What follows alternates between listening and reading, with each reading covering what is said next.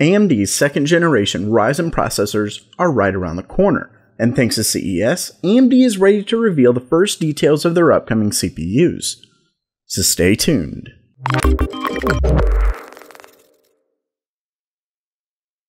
Welcome back to GamerMeld. Here it is, the Ryzen 2000 series, AMD's second generation Ryzen CPUs. Okay, I've got good news and I've got bad news. The bad news is that the recent report I did on its launch month was wrong. No, the Ryzen 2000 series won't be launching in March, unfortunately. Don't worry though, you won't have to wait much longer. Instead, AMD's upcoming processors are officially launching in April, just three months from now, and with it come some exciting things to look forward to. For one, the new CPUs will officially be manufactured with GlobalFoundries' newest 12 nanometer FinFET design. This is something nearly guaranteed after an interview with one of AMD's executives a little while back, but it's now completely official. With the use of a smaller transistor size, AMD is able to produce a more efficient CPU. They're promising higher clocks and an overall 10 plus percent performance from 14 to 12 nanometers. The last detail specifically mentioned with regards to the CPU is the Precision Boost 2 and Extended Frequency Range 2 technology. They don't give very much details, but it basically boils down to what you'd expect higher clocks and better control over the CPU.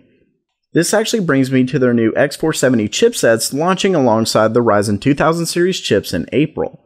I'd bet these updated features like Precision Boost 2 and XFR2 will be X470 motherboard exclusive features, as they're more than likely hardware based features.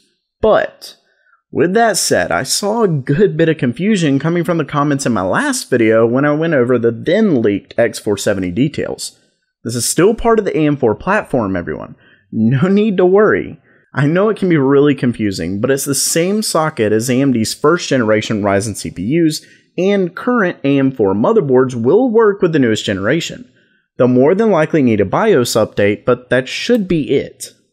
The reason AMD's board partners are releasing new boards is to support newer technologies that weren't available at the time or weren't on Ryzen's first generation CPUs, like new I/O, maybe more PCI Express lanes, possibly this new Precision Boost tech, etc. Really, we don't know what all comes with the Ryzen 2000 series, but just know that while you may not get all the features of the new CPUs, they will work in AMD's older boards. Next up for today, AMD is officially dropping their first generation Ryzen prices pretty much across the board, starting in April. Eh, yeah, when their next gen hits real and virtual shelves everywhere. We're talking some pretty great prices, with 1800X being $150 off at $349, the 1700X at $309, 1700 at 299, and the list goes on. What I'm going to do is actually put affiliate links down in the description, so when this sale goes live, you can just come back to this video and get whatever you want, while also helping out the channel. Speaking of the channel, don't forget to check out the GamerMeld Discord server. It's a place where you can chat with other hardware enthusiasts and gamers about what you love. Have questions about an upcoming build or just want to socialize? It's right in the link, right right there. You you see it. All right. So while that does it for today, what do you think of the news? Excited for AMD's second go at Ryzen? Or now that Intel is aggressively fighting back, will their next chips dwarf AMD? Let me know down in the comments below. And for continued CES coverage, make sure to subscribe to GamerMeld. I'm going to be working a ton to bring you videos over the course of the week. That does it for now. If you liked the video, don't forget to subscribe by clicking on the round icon in the middle. You can check out the most recent video and suggested video to the left. Thanks so much for coming, and as always, have a great day.